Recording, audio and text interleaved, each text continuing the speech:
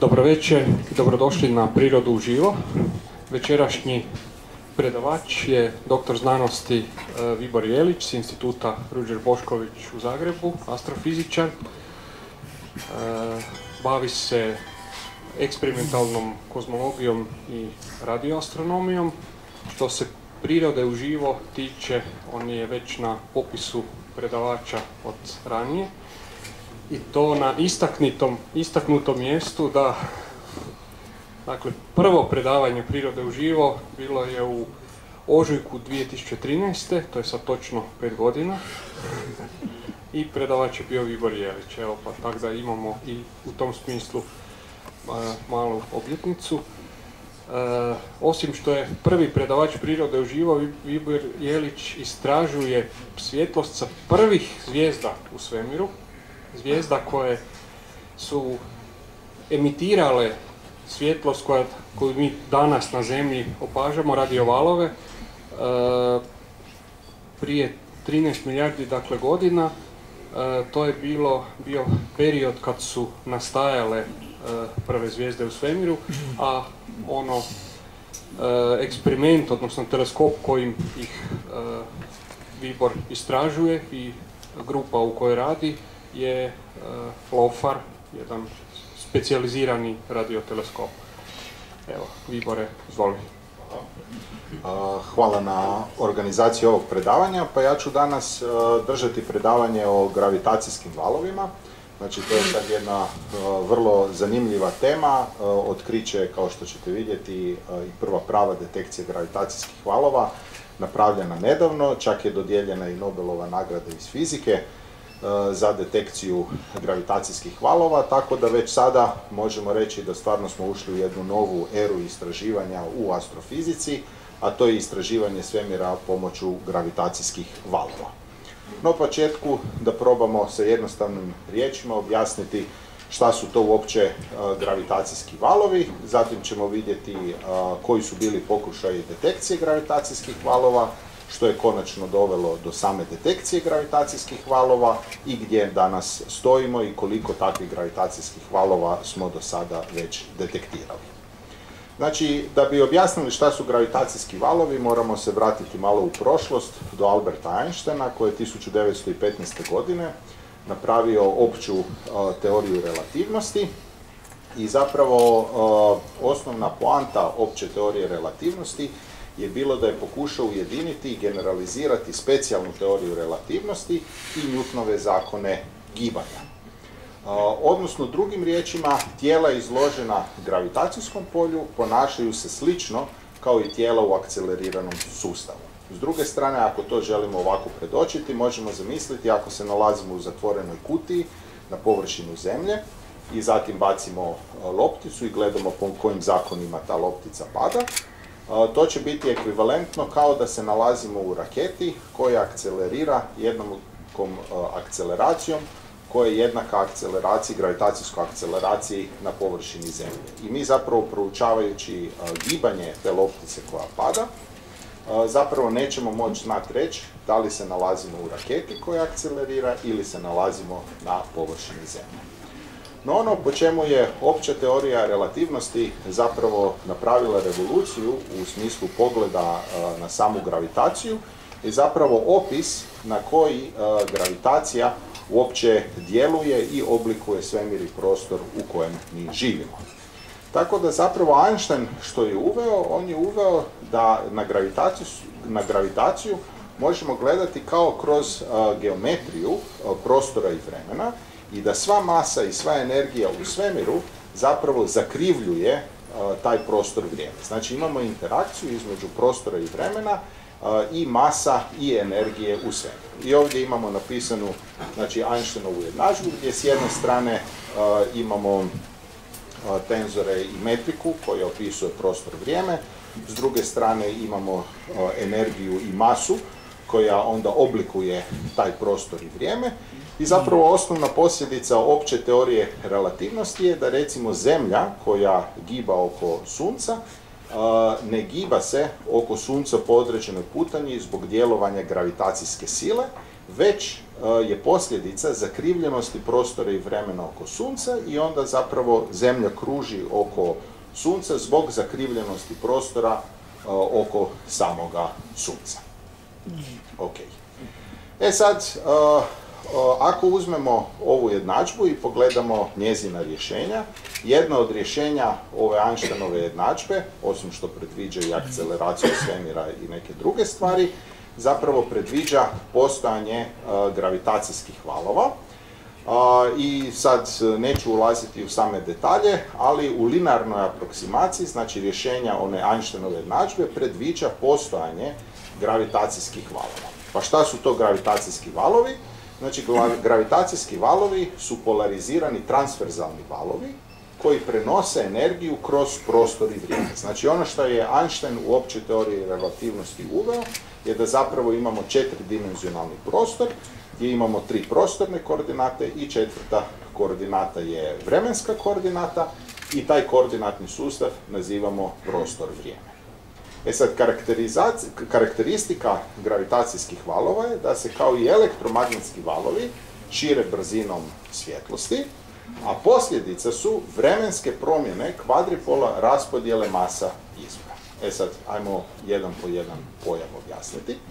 Znači, prvo, gravitacijski valovi su transverzalni valovi, to znači da imamo titranje valova okomito na smjer širenja vala i to kao lijepi primjer transverzalnih valova može biti ako bacimo kamenčić na površinu jezera, tada će nastati koncentrične, koncentrične kružnice, odnosno valovi koji se onda šire od mjesta gdje je kamenčić pao i upravo ta vrsta valova koja nalazi na površini jezera ako bacimo kamenčić su transverzalni valovi. Znači valovi koji titraju okomito na smjer širenja vala. Zatim, drugo svojstvo je da su oni polarizirani, što znači da imamo preferirani smjer titranja koji možemo istražiti.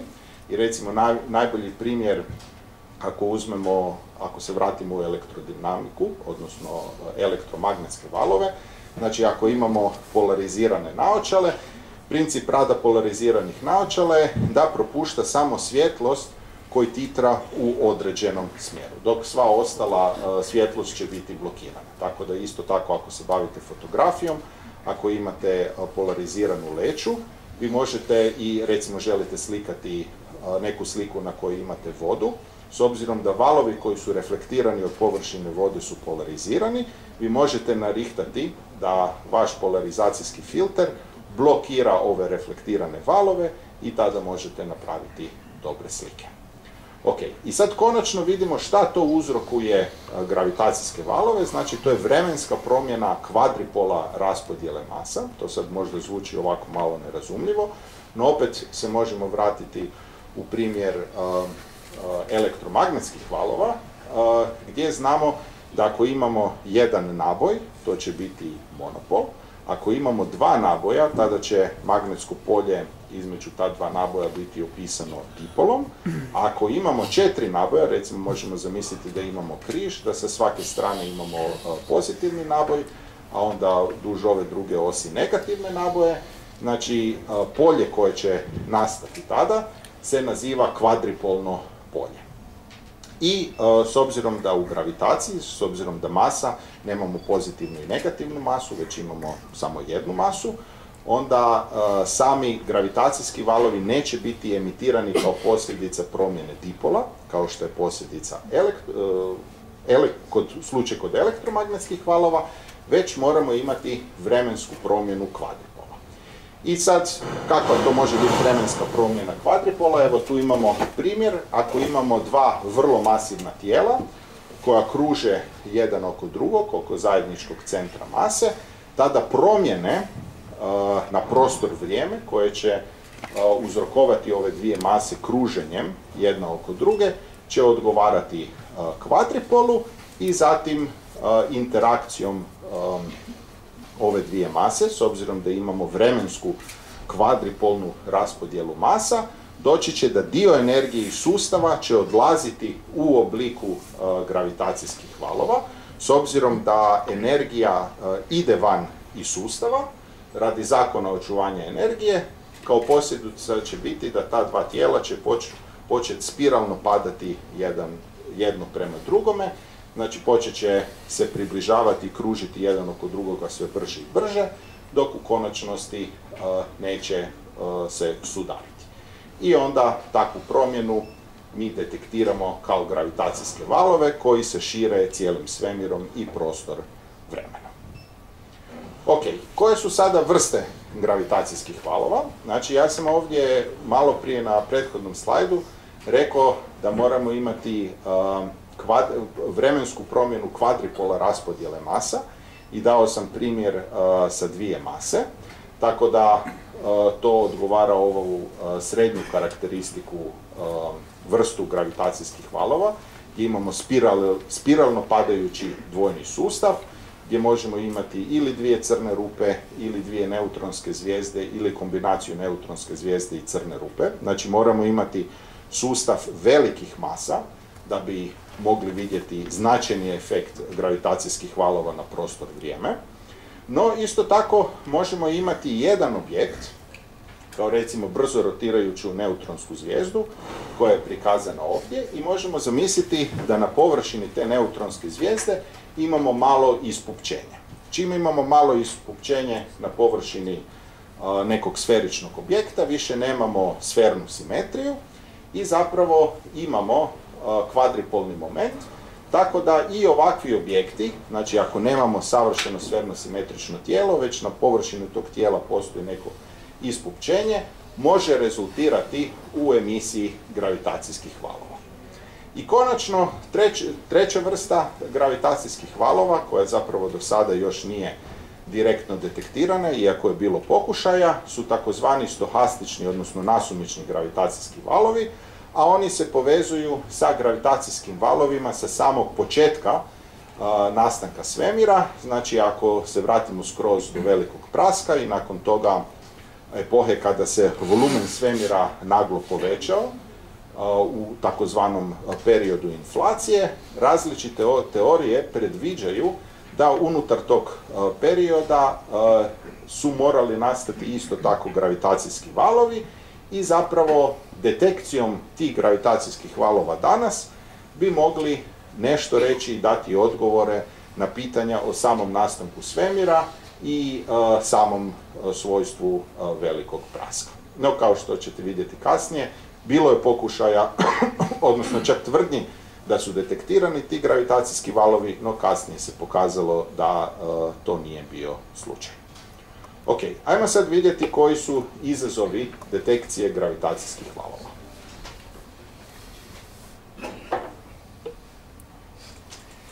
Znači, ako zamislimo da imamo koncentrične krugove na ovom ekranu ovdje, i sad zamislimo da imamo gravitacijski val koji dolazi iz ovog smjera i znači titra okomito na ovaj ekran ovdje, onda pri prolasku gravitacijskog vala kroz ovaj ekran Ove koncentrične kružnice bi se prvo stisnule u jednom smjeru, rastegnule u drugom smjeru i onda obrnuto.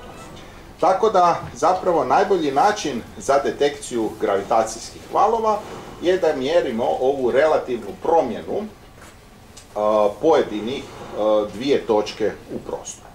I sad konkretno na ovom primjeru ovdje, znači ako uzmemo da je ovdje središte, ovdje imamo znači, ovu koncentričnu kružnicu, mi mjerimo udaljenost između ove dvije točke. Pri prolasku gravitacijskog vala prostor će se stisnuti u jednom smjeru, izdužiti u drugom smjeru i zapravo udaljenost između središnje točke i ove točke na obodu kružni će, se izmijeniti. I mijenjanjem, odnosno mjerenjem ovih relativnih promjena udaljenosti između ove dvije točke, mi možemo u vremenu, to je ključno, u vremenu, mi možemo reći da je kroz naš sustav prošao gravitacijski val. Znači fizikalna veličina, odnosno ova promjena prostor vremena koju želimo mjeriti, se obično naziva naprezanje, odnosno strain, i ključno je da nju mjerimo kao funkcija vremena. Znači nije da želimo apsolutno izmjeriti promjenu koju izaziva gravitacijski val pri prolasku kroz konkretno ovaj ekran, već želimo mjeriti tu vremensku promjenu u vremenu. Znači želimo detektirati naprezanje u vremenu.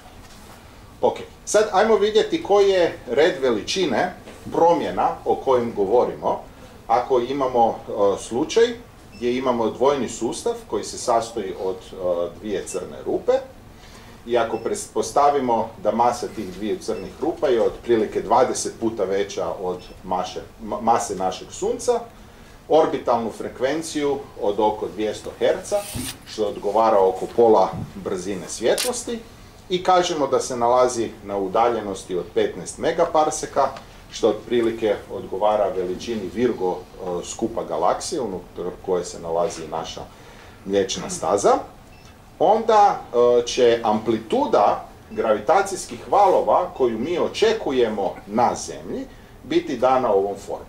Znači, amplituda valova koju ćemo mi detektirati na Zemlji je proporcionalna naravno masama, ukupnoj masi i reduciranoj masi sustava, frekvenciji, to je brzinom koje te dvije e, crne rupe međusobno interagiraju, to je skruže jedno od druge i naravno onda udaljenost. Znači što će objekt biti udaljeniji, to ćemo mi na zemlji detektirati e, manje amplitude gravitacijskih valova. I zatim kada ubacimo sve ove vrijednosti u ovu formulu gore, onda će prolazak gravitacijskih valova e, kroz zemlju izazvati naprezanje prostor vremena koje je manje od 10 na minus 20, to jest oblik zemlje bi se promijenio samo za 10 na minus, minus 13 metara. Znači cijela zemlja pri prolasku gravitacijskih valova od ove dvije crne rupe bi se promijenila za 10 na minus 13 metara, odnosno to odgovara oko 0,1% veličine atoma. Znači, za detekciju gravitacijskih valova moramo imati strašno precizni instrument koji može izmjeriti ovako male promjene u prostoru i u vremenu. I prvi pokušaj detekcije gravitacijskih valova je bio 1955. odnosno 56. godine kada je Josef Weber zapravo predložio da se napravi gravitacijska antena koja bi mogla detektirati gravitacijske valove. Znači on je išao na analog ko kako imamo antene za detekciju elektromagnetskih valova ili recimo radiovalova, da na slični način se može napraviti antena za detekciju gravitacijskih valova. S obzirom da za efekt gravitacije moramo imati veliku masu, onda je izradio dva velika masivna e, cilindra i zatim je gledao promjene, odnosno titraje e, koji su ti e, cilindri primali. I on je čak i 60. godina e, tvrdio da je uspio detektirati e, gravitacijske valove, no kasnija mjerenja su pokazala 70. godina da zapravo e, ono što je on mjerio nisu bili gravitacijski valovi, već su bili razno razni šumovi i vibracije i same okoline. I danas, s obzirom da danas imamo detekciju gravitacijskih valova i znamo koje su amplitude tih gravitacijskih valova, Znamo da mjerenja koje on je napravio su bila čak četiri reda veličine um, uh, veća. Znači on je tvrdio da je detektirao gravitacijske valove koji su četiri reda veličine uh, intenzivnija nego što danas znamo da zapravo gravitacijski valovi stvaraju. Tako da je uh, taj rezultati tog eksperimenta su bili odbačeni. I zapravo prva indirektna detekcija gravitacijskih valova se dogodila pomoću velikog radioteleskopa, Arecibo, to je 305 metarski radioteleskop u Porto Riku, gdje je zapravo uzeta konfiguracija terena da se može izgraditi ovaj veliki radioteleskop. I dva znanstvenika, znači Halsey i Taylor, su 1974. godine detektirali signale, znači radiosignale dvojnog sustava dvije neutronske zvijezde. Znači neutronska zvijezda, ako brzo rotira oko sebe zbog prisutnosti jakih magnetskih polja, će emitirati zračenje samo duž, magnetskih, duž magnetskog pola. Znači ako ova zvijezda rotira ovako i ovdje nam se nalazi magnetski polovi, znači snop radio zračenja od ove brzo rotirajuće neutronske zvijezde će biti samo duž uh, magnetskih polova. I svaki put kada ovaj snop bude okrenut prema zemlji, mi na zemlji ćemo detektirati radio valove. I onaj efekt koji imate, s obzirom da su to brzo rotirajuće zvijezde, da vi zapravo detektirate pulseve radio zračenja svakih nekoliko desetina milisekundi. To je zapravo ekvivalentni efekt kao i ako gledate svjetionik. Znači ako se nalazite na brodu, na svjetioniku imamo lampu koja se rotira u krug i svaki put kada je lampa okrenuta prema vama, vi detektirate signali. S obzirom da se lampa relativno brzo vrti, onda svakih nekoliko sekundi zapravo primate te signale i na slični način zapravo mi vidimo pulsare kao radio svjetionike u svemiru. I s obzirom da se radi o brzo rotirajućim objektima, onda pulsari su odlični za istraživanje efekata opće teorije relativnosti. I sad vratimo se na priču sa sustav od dva pulsara.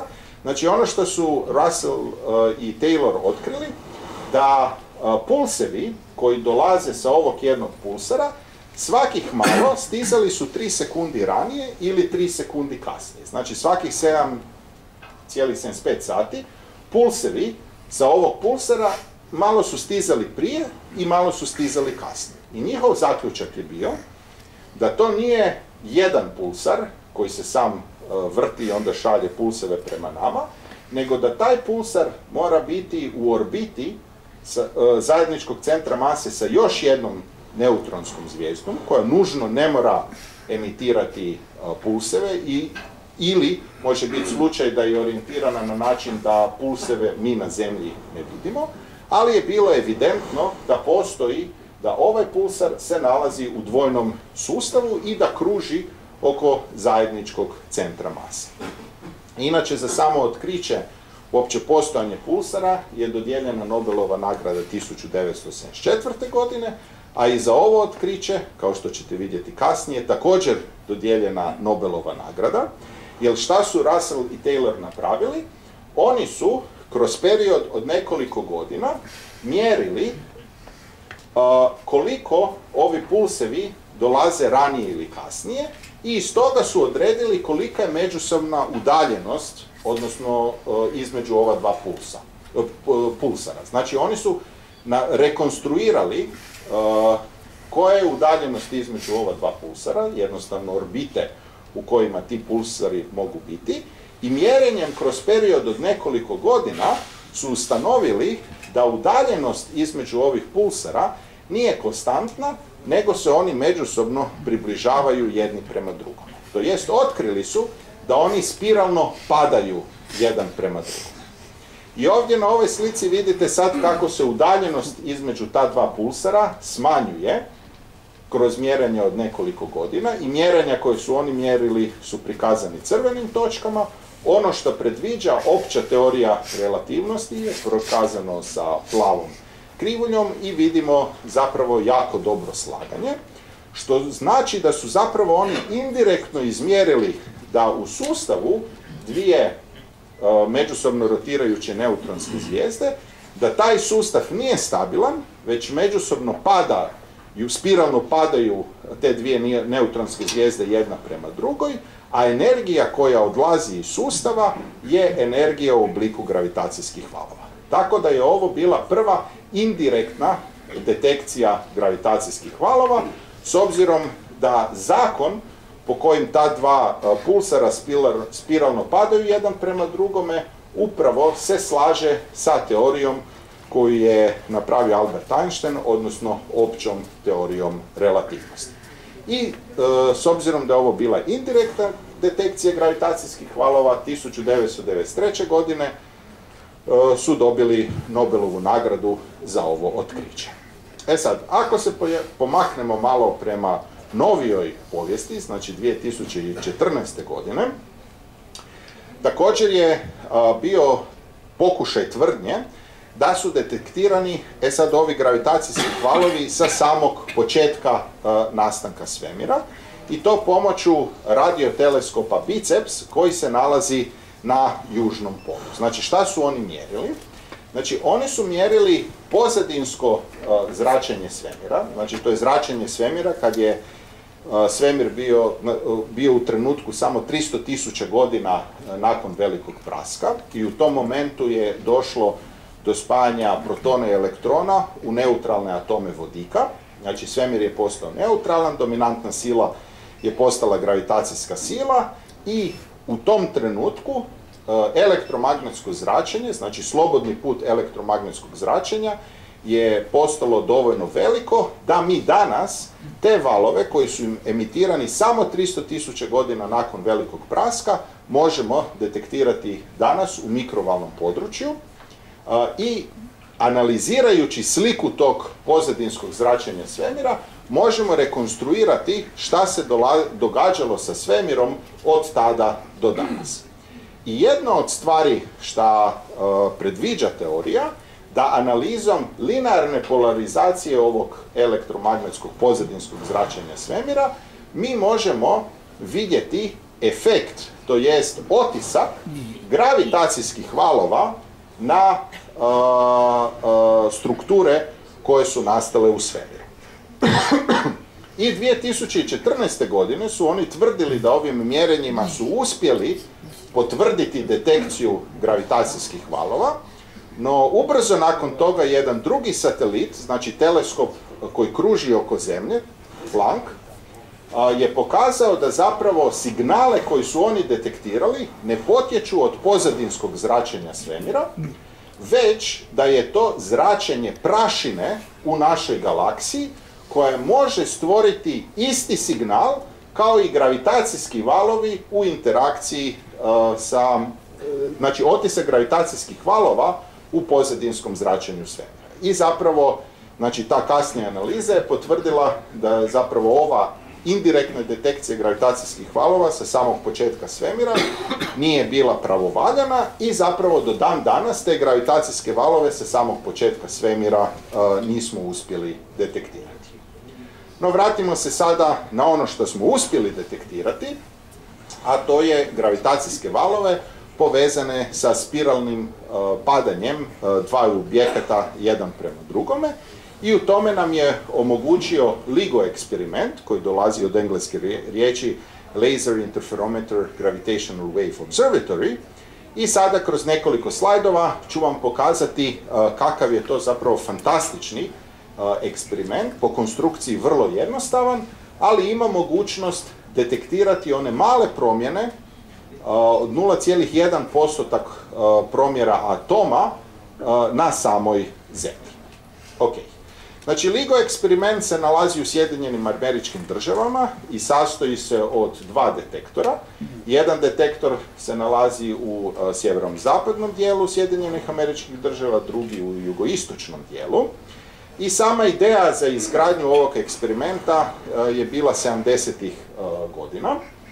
1994. godine je započeta gradnja i 2002. godine su, smo su krenula prva mjerenja pomoću LIGO detektora. I tada su pokušavali i mjerenja i gledali su kolika je preciznost instrumenta i sve, ali su 2010. godine zaključili da jednostavno nisu uspjeli postići preciznost dovoljnu za detekciju gravitacijskih valova, tako da su od 2011. do 2014. godine krenuli sa nadogradnjom i uspjeli su povećati osjetljivost detektora oko 10 puta, da bi to onda rezultiralo 2015. godine, znači skoro 40 godina nakon same ideje, su uspjeli napraviti prvu detekciju gravitacijskih valova pomoću ovog instrumenta. E sad, ajmo vidjeti na kojem principu radi LIGO eksperiment.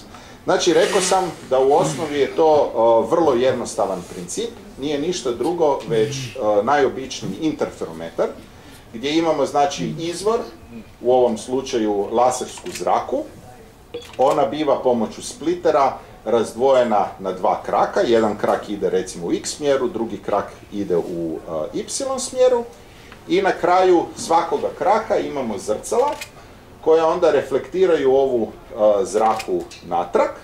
Ovdje te dvije zrake bivaju ujedinjene i onda ovdje pomoću fotodetektora vidimo da li su valovi koji idu u jednom kraku i u drugom kraku međusobno u konstruktivnoj ili destruktivnoj interferenciji.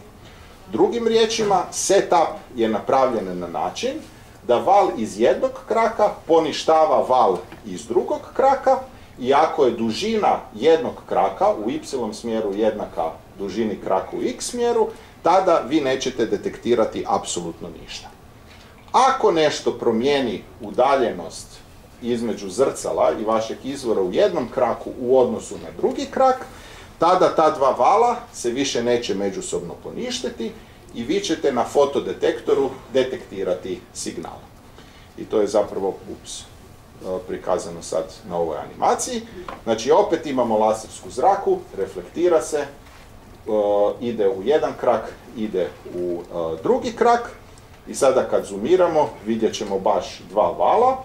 Znači oni su napravljeni tako da, se, da su međusobno u antifazama, tako da kad se jedan val reflektira, kad se drugi val reflektira, kada se međusobno spoje ove dvije zrake, znači brijeg i dol, se međusobno poništavaju i mi na fotodetektoru ne vidimo ništa. No onda ako imamo prolazak gravitacijskog vala, znači vidjeli smo da će se prostor vrijeme stisnuti i izdužiti u različitim smjerovima, promijenit će se put zraka u jednom kraku u odnosu na drugi krak i na fotodetektoru ćemo detektirati signal. I to je znači osnovni princip rada LIGO eksperimenta.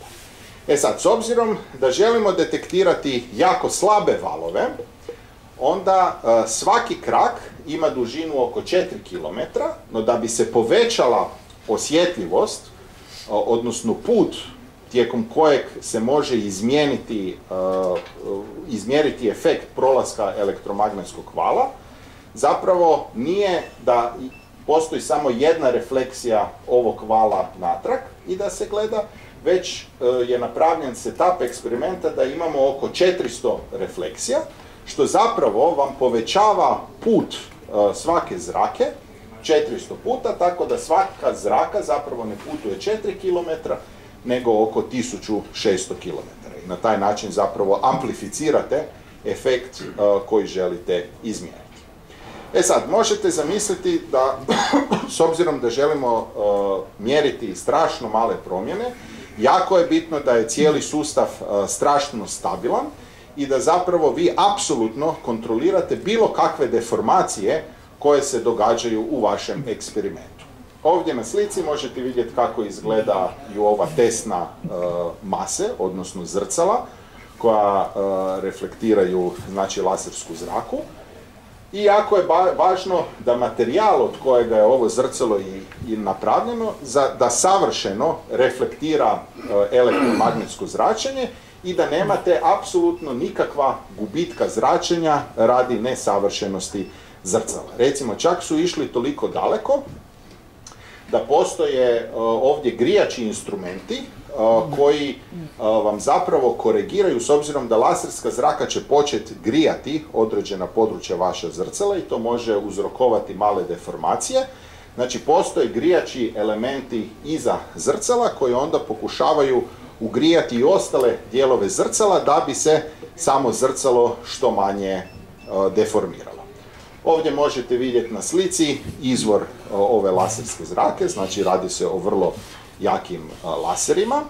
Zatim imamo cijeli sustav klatna, odnosno različitih masa, koji zapravo pokušavaju stabilizirati cijeli sustav od bilo kakvih nasumičnih vibracija koje postoje u sustavu, bilo da imate neki kamion koji je prošao pa će izazvati male vibracije koje bi mogle zapravo izazvati promjene takve u vašem sustavu da nećete moći detektirati gravitacijske valove. I tu vidite sustav tih klatna, znači to je jednaki princip koji se recimo sve ove nove moderne zgrade na trusnim područjima, obično se u sredini e, zgrade postavlja sustav klatna koji u slučaju potresa preuzima energiju i zapravo stabilizira zgradu.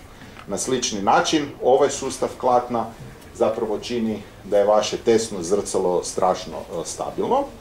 Isto tako postoji i aktivni sustav koji ako i dođe do malog pomaka zrcala, znači vi imate onda i za cijeli mehanizam koji će pokušati poništiti te vibracije i onda sve to zajedno vam omogućuje da je vaš sustav izoliran do 10 na minus 13 metara. Je to upravo ona preciznost koju morate postići da bi mogli detektirati prolazak gravitacijskog vala kroz ovakav sustav.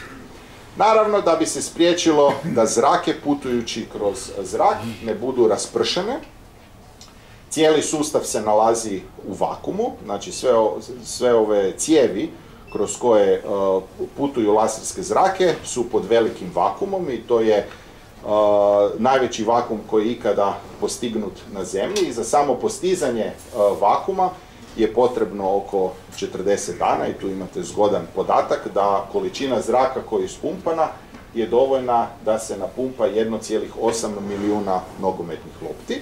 Znači, cijeli sustav se nalazi u vakumu i onda pomoću tih klatna, vakuma i svih tih ovih mehanizama zapravo postižete osjetljivost koja je prikazana ovdje, odnosno udaljenost, relativnu udaljenost između zrcala možete mjeriti sa preciznosti od 1 kroz 10.000 veličine protona. Jer je to ona famozna brojka koju morate imati da pri prolasku gravitacijskog vala kroz ovaj sustav vi nešto možete detektirati. I konačno, nakon uh, što je cijeli sustav proradio sa upgradeom koji mu je povećao osjetljivost oko 10 puta, 14. rujna 2015. godine je izmjerena prva izravna detekcija gravitacijskih valova i to je objavljeno u časopisu Physical Review Letters u siječnju 2000 i, odnosno tad su poslali, ali je objavljeno u 11. drugog 2016. godine. Ajmo vidjeti šta su je LIGO eksperiment izmjerio. Znači ovdje na ovoj slici sada vidite signal koji je izmjerio prvi detektor i signal koji je izmjerio drugi detektor. Ovdje je zapravo uh, prikazano uh, i signal zajedno prvog detektora i uh, drugog detektora. Najmo se koncentrirati sad samo signal koji je viđen na prvom detektoru. Znači, na koji principu sada radi detekcija? Znači, vi sa vašim eksperimentom detektirate ovakav nekakav signal u vremenu i tu je sad ona ključna stvar. Nije da ćete vi pre, postići onu preciznost od 10 na minus 13 metara u danome trenutku, nego je poanta da vi analizirate vaš signal u vremenu. Znači, vi tražite točno određeni oblik signala kao funkcije vremena koji odgovara gravitacijskim valom.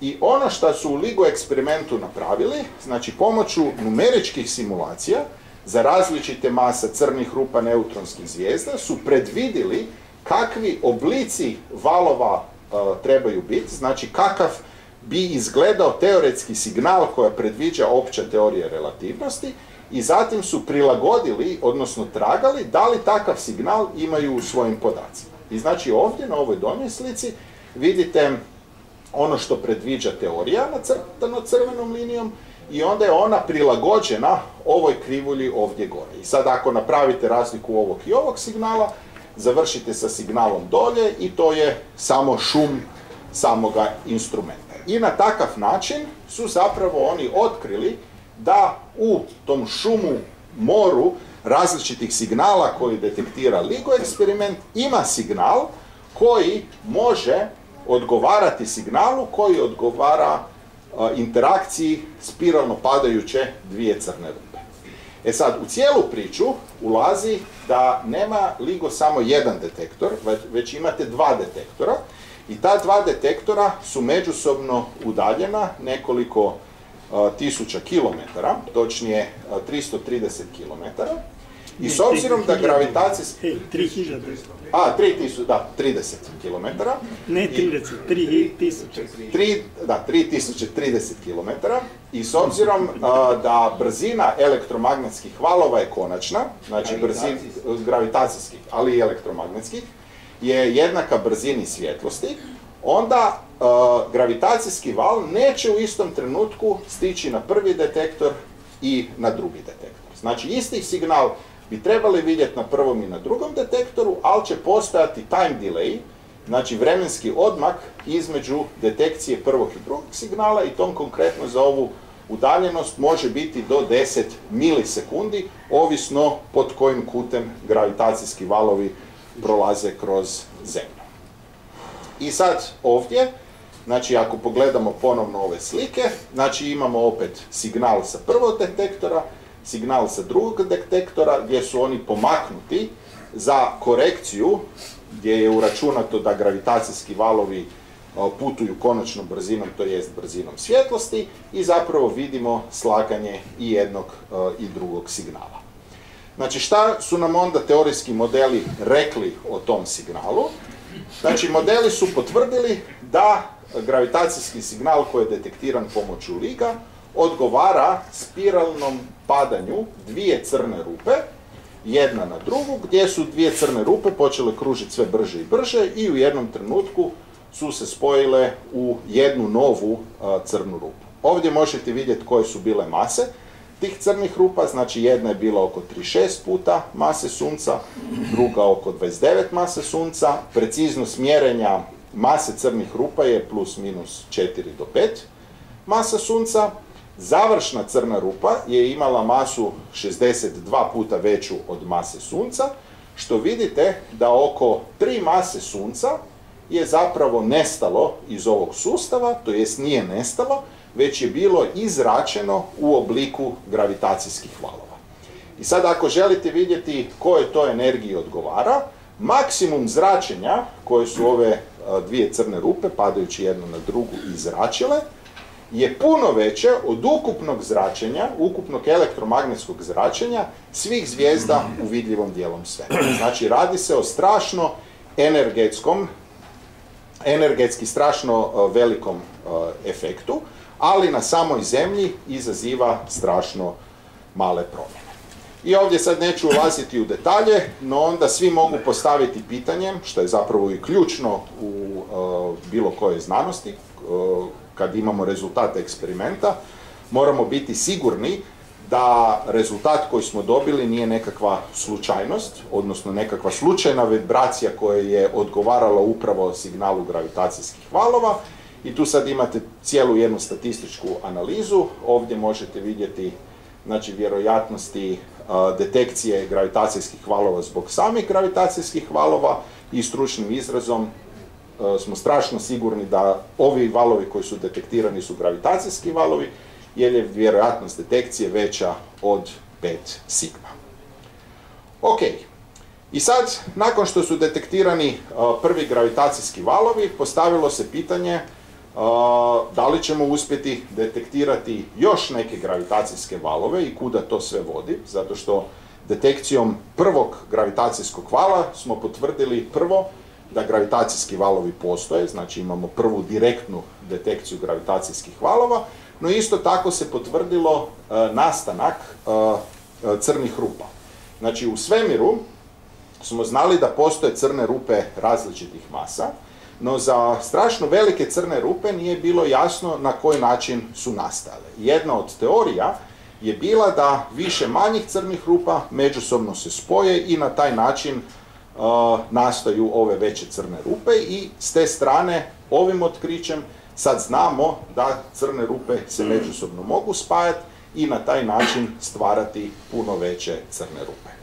U međuvremenu što se dogodilo, da uz LIGO eksperiment koji se nalazi u Sjedinim američkim državama je isto tako upgradean eksperiment koji se nalazi u Europi, zapravo relativno blizu nas, znači u Pizi, u Italiji, i uspjeli su upgradeati i ovaj eksperiment ovdje, tako da zapravo kroz, od kolova za 2017. godine sada imamo tri aktivna uh, detektora uh, za detekciju elektromagnetskih valova i to je rezultiralo da do sada već imamo 1, 2, 3, 4, 5 sigurnih detekcija gravitacijskih valova koji su nastali spajanjem dviju crnih rupa, znači ovdje možete vidjeti na ovoj osi mase crnih rupa i znači ovdje vidimo da je to sve desetaka masa sunca.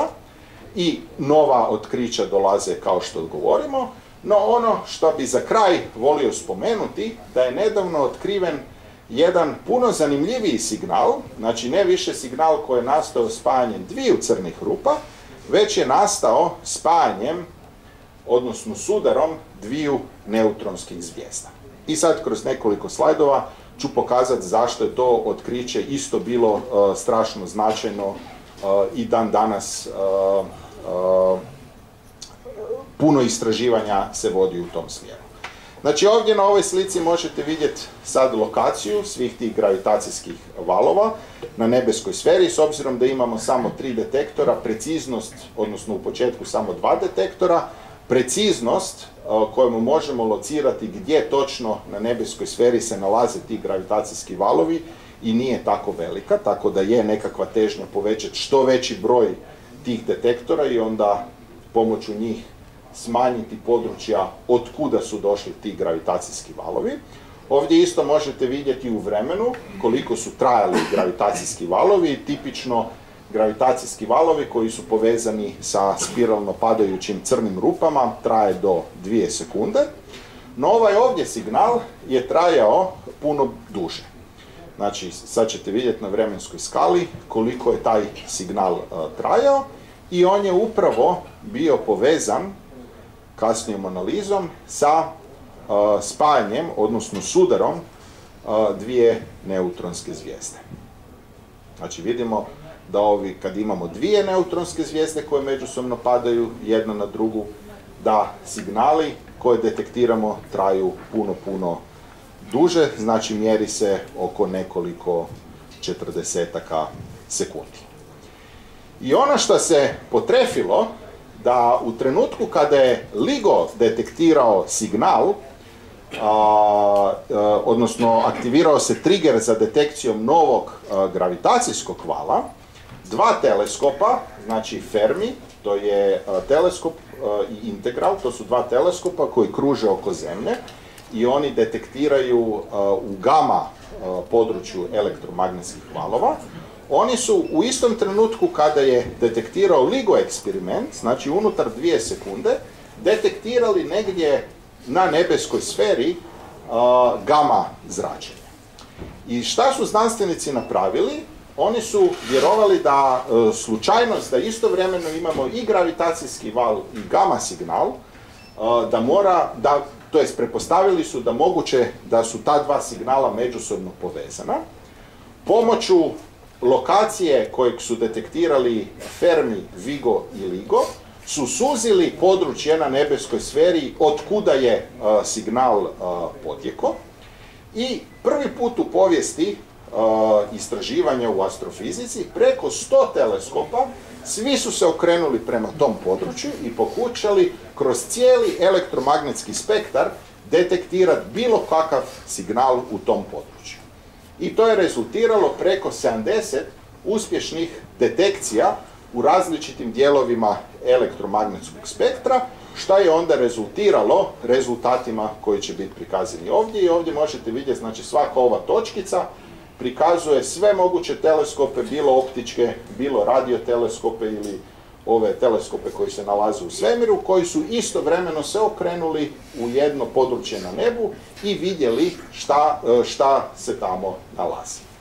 I ono što su otkrili, znači uspjeli su otkriti da nakon što je detektiran gravitacijski val, uspjeli su detektirati i gama zrake iz tog područja i optičke, znači u optičkom dijelu elektromagnetskog svjetla i radiovalove, i uspjeli su otkriti da pri sudaru dvije neutronske zvijezde nastaje takozvana kilonova, znači to bi bila kao supernova koja nastaje eksplozijom jedne zvijezde, znači pri sudaru se oslobađa oko tisuću puta više energije i analizom svih ovih mjerenja je zapravo otkriveno da u kilonovama Uh, energije, zbog prisutne velike energije i količine uh, čestica koje imate, da zapravo možemo objasniti svu, sve nastanak svih teških elemenata u svemiru. Do danas je zapravo bilo otvoreno pitanje na koji način ovi neki teži elementi u svemiru nastaju, ali ako pogledate količinu koja nastaje pri eksploziji običnih supernovi, jednostavno morate imati puno više tih eksplozija nego ako gledate kroz povijest svemira nego što imamo.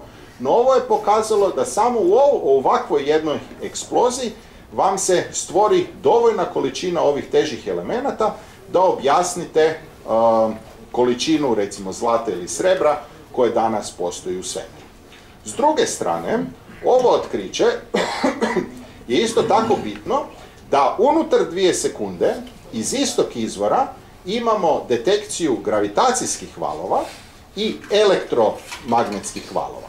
Što zapravo nam kaže da i jedni i drugi valovi putuju brzinom svjetlosti i zapravo da su se dogodili istovremeno. Šta vam određene alternativne teorije koje su povezane e, sa gravitacijom padaju u vodu, jer imamo istovremenost i u jednom i u drugom signalu, znači jedno je elektromagnetsko, drugo je e, gravitacijsko zračenje.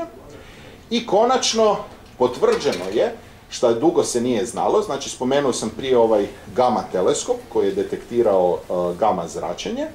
Znači mi smo te e, gama bursteve, znači kratke signale gama zračenja, svakih malo detektirali na nebu, ali nismo znali što je bio stvarni izvor toga gama zračenja. A sada se zapravo potvrdilo da sudarom dvije neutronske zvijezde se mogu objasniti određena vrsta tih gamma ray bursteva, znači izuzetno snažnih, uh, jakih izvora gama zračenja koje postoji u svemiru, tako da zapravo ovim otkrićem je započela kompletno jedna nova era istraživanja u astrofizici, jer više ne istražujemo samo svemir pomoću elektromagnetskog zračenja, već istražujemo i pomoću e, gravitacijskih valova, koje je pak povezano sa dvije e, različite sile.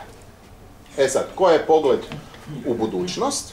Zanimljivo je da e, pri detekciji gravitacijskih valova pomoću liga, samo tjedan dana poslije, ministar znanosti Indije je potpisao izgradnju isto takvog detektora u Indiji. Već sam spomenuo prije postojanje Virgo eksperimenta koji je sada upgraden i koji zajedno sa Vigom je rezultirao u povećanom broju detekcija. Postoji jedan detektor Geo 600 u Njemačkoj, ali trenutno njegova osjetljivost nije dovoljno velika da bi se mogao mjeriti sa ova tri detektora. Isto tako postoji jedan detektor u Japanu koji je trenutno u izgradnji, no ono što će nam budućnost donijeti je ELISA, to je veliki detektor elektromagnetskih valova koji se planira lansirati u orbitu oko Zemlje. I onda zapravo ove krakove između ova tri detektora bit će na udaljenosti oko 5 milijuna kilometara i omogućit će detekciju puno slabijih gravitacijskih valova nego što je to moguće na Zemlji. I trenutno je, je ovaj eksperiment u fazi razvoja tehnologije koji će omogućiti fiksiranu udaljenost između ova tri satelita u nekakvoj stabilnoj orbiti u sunčevom sustavu.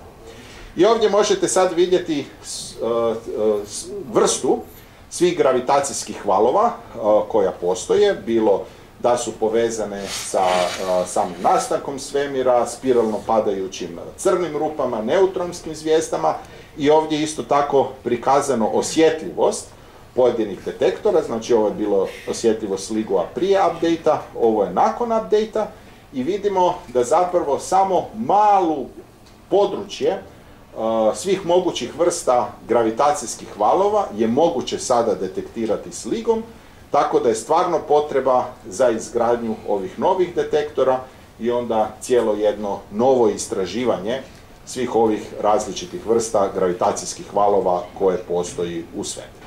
I kao što sam spomenuo već prije, nije bilo iznenađenje da je upravo Nobelova nagrada iz fizike u prošloj godini, znači 2017. godine, dodijeljena zapravo pionirima istraživanja gravitacijskih valova i samog LIGO eksperimenta. Hvala.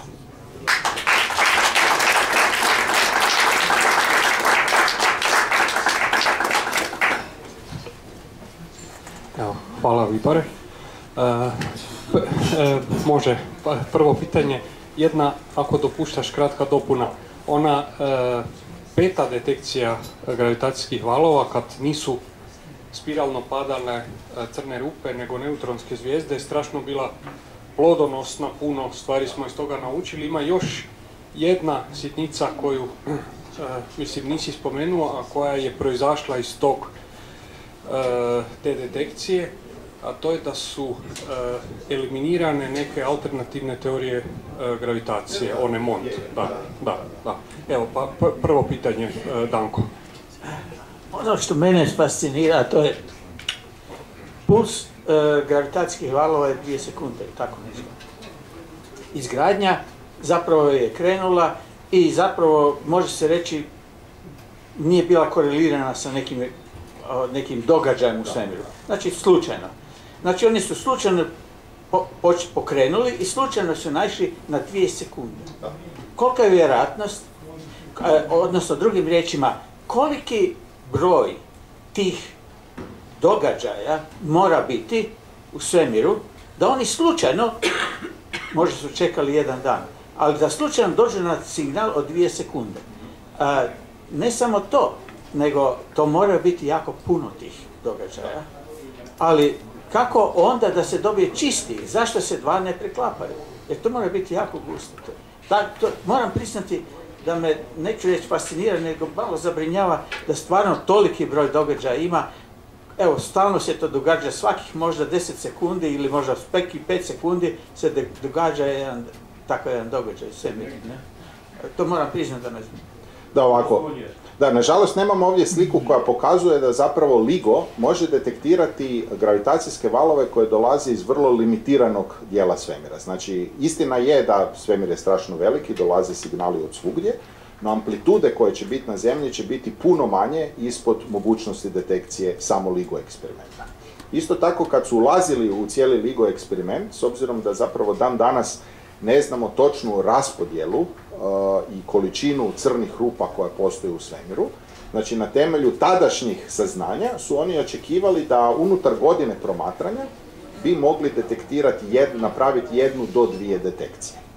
E sad, istina je da su imali sreću da nakon što su upalili eksperiment, da su uspjeli tako nešto detektirati, no zapravo danas znamo na temelju sve većeg i većeg broja detekcije, da jednostavno teoriju koju smo imali o količini crnih rupa i takvih događaja, da su puno češći nego što smo prije vjerovali, pa onda samim time je i vjerojatnost za detekciju takvog nečega puno veća. No, ako se ode na LIGO stranicu, ima baš jedna lijepa slika koja zapravo pokazuje da sve signale gravitacijskih valova koje LIGO može detektirati u svemirskim skalama je zapravo naša neposredna blizina. Tako da ako postoje takvi događaji, i sigurno postoje, puno šire, jednostavno sa trenutnom osjetljivosti detektora mi ih nećemo moći detektirati.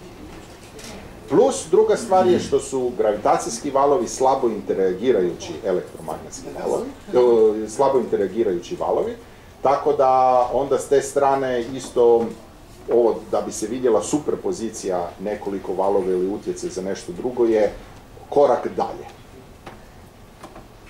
Cijena jednog ureda. Cijena, i iskreno da kažem ne znam.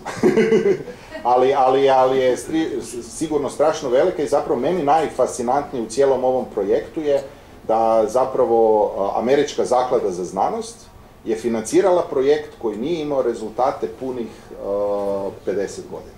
Znači to je dosta... Da. Trump onda još nije bio aktualan. Uvijek se govori da su naši ono preračuna koliko to je.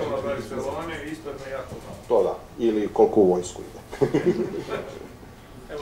Pa Dobro, evo ja ako kao lajk mogu samo upitati što mene recimo sad malo da upotrijebim tu domaću hrvatsku riječ fascinira ili recimo ovako i ne.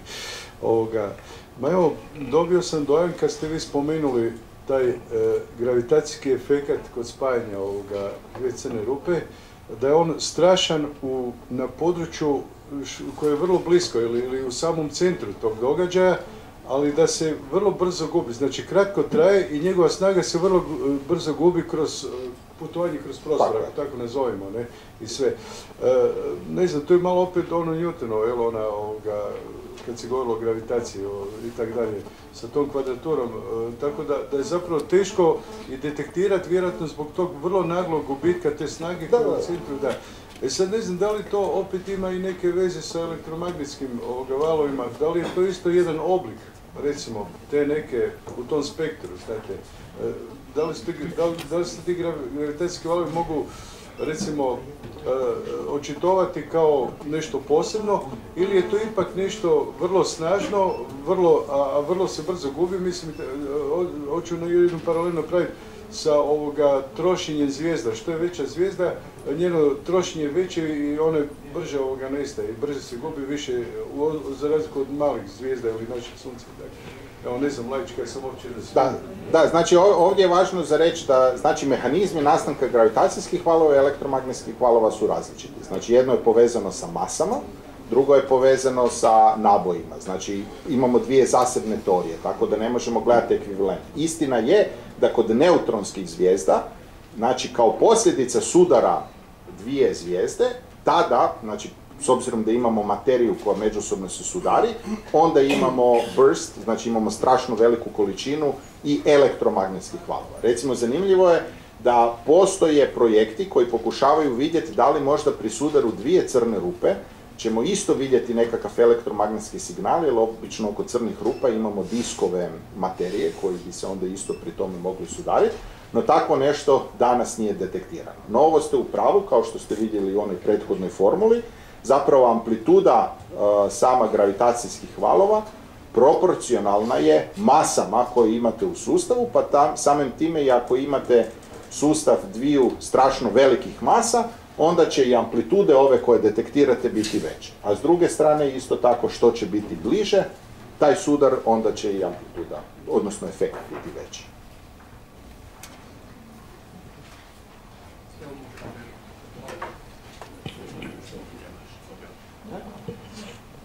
Pa ja bih zapravo pitao, kad ste rekli blizu, koliko je to blizu i da li postoji, znamo da, ili priča se o efektu gravitacijskom, efektu na elektromagnetsko zračenje, pa sam negdje čitao da se daleke ili s kraja svemira vidi sa par mjeseci razlike s obzirom na raspodjelu masa signal.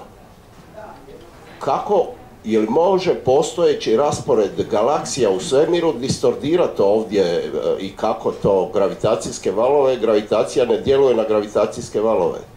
Ne, ne, ne. Ovdje, znači, ako sve gledamo ovako, prvo odgovor na pitanje, znači konkretno recimo ovo je prva detekcija gravitacijskih valova je bila oko nas oko 1,3 milijarde svjetlosnih godina.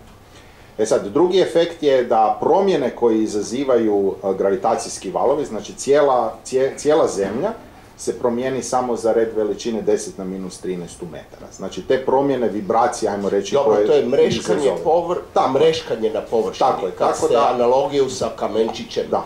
A dobro, kolika je onda dubina, koliko je energije u svemiru ili kako, je li imamo neku predođu o tome šta to... sve skupa definira taj srednji nivo oko kojega smo ne, ne, to, to nije apsolutno nikakav problem zato što kad gledate koliko energije se oslobodi i koliko energije dođe do nas, to su puno manje energije nego energije vezanja. Recimo, ako imate jednu galaksiju, vi imate strašno veliku energiju vezanja, znači gravitacijski ta galaksija je strašno stabilna i onda ako vi sada utječete sa malom energetskom promjenom ovdje, vi zapravo nećete napraviti apsolutno nikakvu promjenu. To je možete slično zamisliti ako napravite grudu snijega, sad ako je lagano bacite grudu snijega, grudi snijega se neće dogoditi ništa. Znači vi uvijek u sustav morate unijeti puno veću količinu energije od energije vezanja samog sustava da bi mogli značajno utjecati na taj sustav. Tako da. jer zapravo one dvije sekunde znači da je spajanje, odnosno padanje crnih rupa jedne u drugu trajalo dvije sekunde. Da, da, da, da. A dobro, imamo sudare galaksija, oni traju tisućama godina, milionima. Da, ali radi se o različitim procesima. Da. Ako se radi o nasama, da li je zračenje izotropno? To je jedno pitanje, a drugo, ne pošli li zapravo svemir puno ovakvih mrtvaca? Šta, da li u svemiru? Ili svemir zaista pun ovih mrtvaca? Pa trebao bi biti. trebao bi biti s obzirom, s obzirom da znamo da uh, u središtima većinu galaksije imamo strašno velike crne rupe. Uh, tako da zapravo i to je bilo veliko pitanje na koji način nastaju te najmasivnije crne rupe. Čak postoji teorije da imate uh, pri, nastav, pri inflaciji neke predviđaju da možemo imati direktni nastanak tih nekih manjih crnih rupa, ali onda se postavlja pitanje kako tih manjih nastaju veće. Tako da zapravo ovim otkrićem uh, crnih rupa koje su reda veličine 20 puta do 30 puta mase sunca, a koje nisu mogle nastati direktnim kolapsom, isto tako sad možemo vidjeti da i te malo veće crne rupe se ujedine pa nastane još veća crna rupa.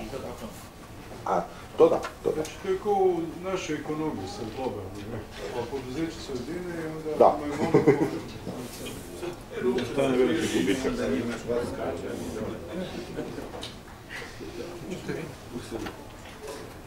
Ja sam Mladen Bošić i prije dva tjedna sam držao predavanje o tome kako ovaj LIGO, LIGO, LIGO, molim, kako funkcionira.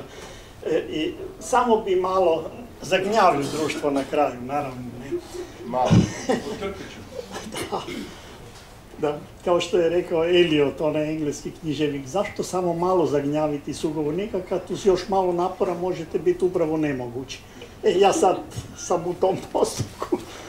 E, molim vas onu sliku di, su, di, se vidi interferometar. Ne, ne, to ono je kak se, princip na kojem radi.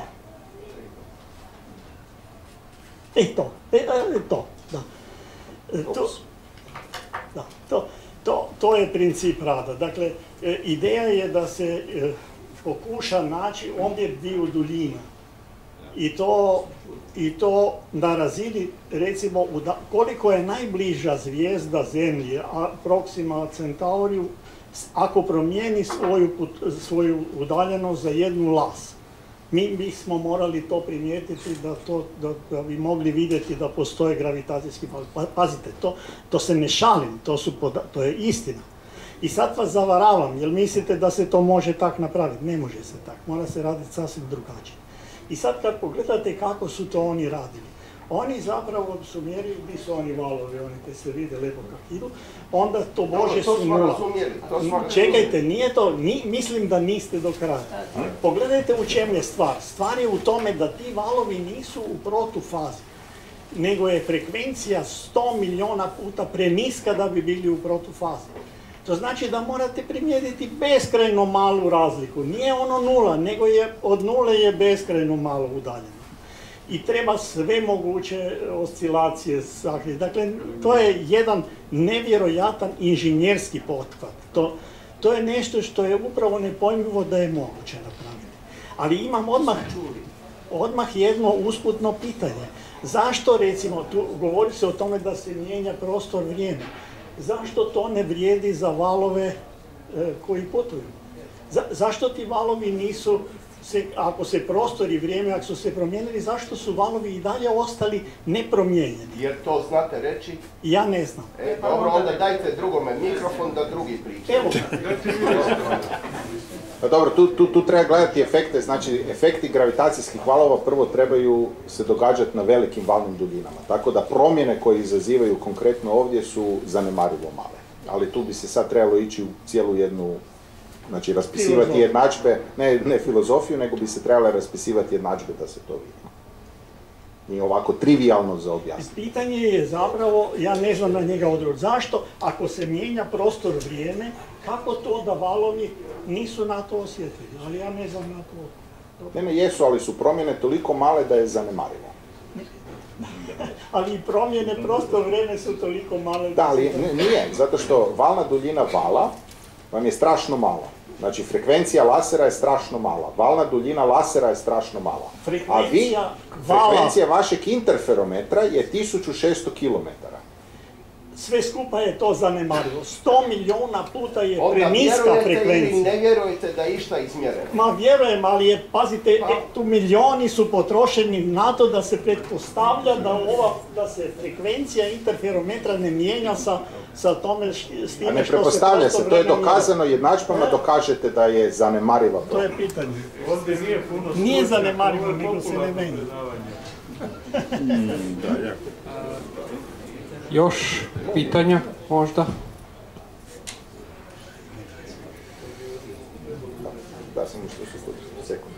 Zašto na Kanarima nije uhvaćeno ono vašem gama E, e, Odgovor je vrlo jednostavan. E, Teleskop na kojem ja radim, Magic, je jedan od onih stotina koji su obratili pažnju na to i gledali, i to ne samo kod ove pete, nego kod one prve već detekcije. E, Mi imamo suradnju, dakle, s, s tim eksperimentom za gravitacijske valove, obavještavamo jedni druge o tome, samo taj zemaljski teleskop gleda u jednom drugom području i e, gama zrake u tom području naprosto nije ih bilo dovoljno da bi mi i- imali signal.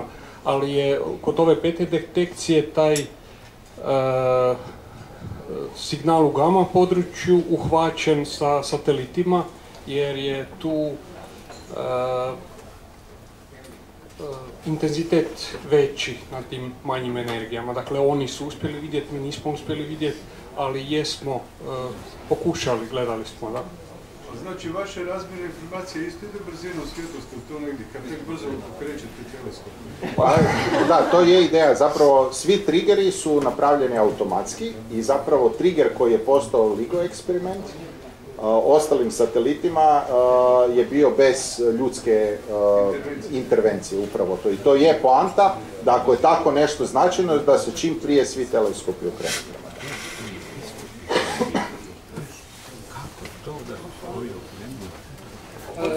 Ima jedna za- zanimljivost e, š- što se tiče tih dojava. Dakle, satelit dojavi, dok su takve jako važne stvari, ovo se ne događa e, baš e, svaki čas, nego imamo ne- neke događaje koji su tako većeg prioriteta i onda u tom slučaju je sustav programiran da teleskop preuzme kontrolu. Dakle, mi operateri koji smo tamo u tom času samo vidimo da je alarm e, i teleskop preuzima kontrolu, on se samo kreće prema tom izvoru, sve se podešava samo, mi više nemamo ono, ne možemo na to utjecati. Tako da, jer, jer mi smo prespori da bi reagirali, pa se prepušta ono, robotima. Mogu samo jedan komentar. Ono, je- on, rekao, sam, rekao sam ono što me fascinira, to je baš zašto toliko toga ima. A druga je, zapravo to je još isto fascinantno, da dva eksperimenta su napravila e, jer, e, i dobili rezultate koje se koreliraju. To je jedan preko drugog. Prema tome, za prvi eksperiment se može reći slučajne neke i drugi bi onda sigurno slučajne, ali oni se poklapaju. Da, da, da, i to je zapravo To, je, cijela to moram priznat i svi ovo i ovo što vi govorite i tako dalje, nek vi jednostavno ne možete objasniti zašto ta dva eksperimenta pa se poklapaju. Da, to je interferometar unutar interferometra. dva puta po 500 milijuna dolara da bi imali dva laboratorija da dokažu korelaciju. Ja zahvaljujem još jedan put Viboru na izvrsnom predavanju. Hvala.